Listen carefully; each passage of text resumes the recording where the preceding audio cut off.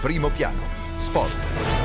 La Red Bull davanti a tutti è stato Sebastian Vettel a fermare il cronometro sul giro più veloce delle qualificazioni per il primo Gran Premio della stagione 2010 di Formula 1. Il pilota tedesco dunque partirà in pole position in Bahrain. Dietro di lui ci sono le due Ferrari con Felipe Massa in prima fila e Fernando Alonso subito dietro. È bellissimo tornare a correre ed è ancora più bello farlo a questi livelli, ha commentato il brasiliano, a rientro in gara dopo il tremendo incidente della scorsa stagione. Il secondo posto e il terzo di Alonso sono frutto di un ottimo lavoro di tutta la squadra, ha spiegato Massa, mettendo in guardia i tifosi in vista della gara. La Red Bull è molto forte, sarà difficile stare davanti, noi ci proveremo. Soddisfatto anche Alonso al debutto sulla monoposto posto di Maranello. In qualifica si sono registrati distacchi maggiori rispetto alle prove libere, ha sottolineato lo spagnolo. Ma va bene così, la corsa vera sarà solo domani e il verdetto lo darà la pista. Quarto tempo per la McLaren di Lewis Hamilton e quinto per la prima Mercedes, quella di Nico Rosberg, più veloce dell'attesissimo compagno di squadra Michael Schumacher. Per il sette volte ridato un rientro tutto sommato discreto, visto che si è messo dietro Jenson Button, campione del mondo in carica, ottavo.